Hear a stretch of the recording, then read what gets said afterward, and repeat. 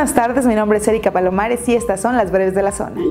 El sector de la construcción no se ha escapado de ser víctima de la delincuencia, pues es otro de los sectores que ha sufrido de cobros de piso y extorsiones. Han tenido que destinar hasta el 12% de cada contrato para seguridad pública privada. Así lo reconoció Javier Padilla Guerrero, presidente de la Cámara Mexicana de la Industria de la Construcción, quien detalló que el cobro de cuotas ha sido vía telefónica. En las obras públicas llegan a preguntar por el responsable de la obra y también a las empresas.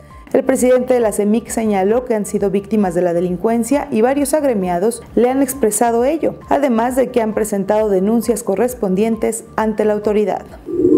Guanajuato impulsa el talento de los jóvenes con becas y apoyos financieros para formar a los líderes del mañana. En Educafin, creemos en ellas y en ellos porque en su desarrollo educativo está nuestro futuro. Y con más becas en las mejores universidades del extranjero, los guanajuatenses estamos conquistando el mundo. Guanajuato, Grandeza de México, Gobierno del Estado.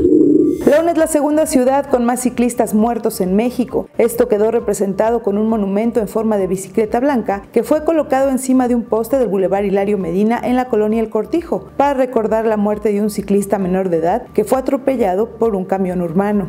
Fue el pasado 19 de agosto en el cruce de la avenida Saturno, cuando el pequeño de 11 años, vecino de la colonia Los Ángeles 2, murió embestido por un camión de la ruta Brisas 37, que era conducido por Raimundo, un operador de 37 años de edad. La muerte conmocionó a la sociedad leonesa, ya que el colectivo Mujeres en Bicicleta León colgó en lo alto de un poste metálico una pequeña bicicleta blanca en el lugar del trágico accidente. Más de un transeúnte se le queda viendo ignorando el por qué está colgada. Otros saben que es un recuerdo de que en ese lugar una persona murió atropellada.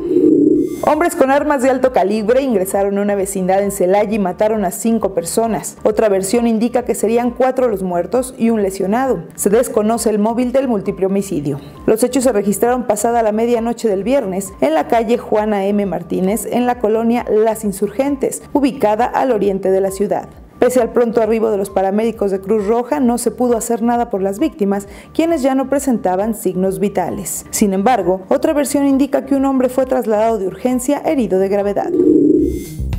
Las mejores oportunidades educativas para los jóvenes están en Guanajuato. Educafin impulsa el talento con becas y otros apoyos financieros para formar a los líderes mexicanos del mañana.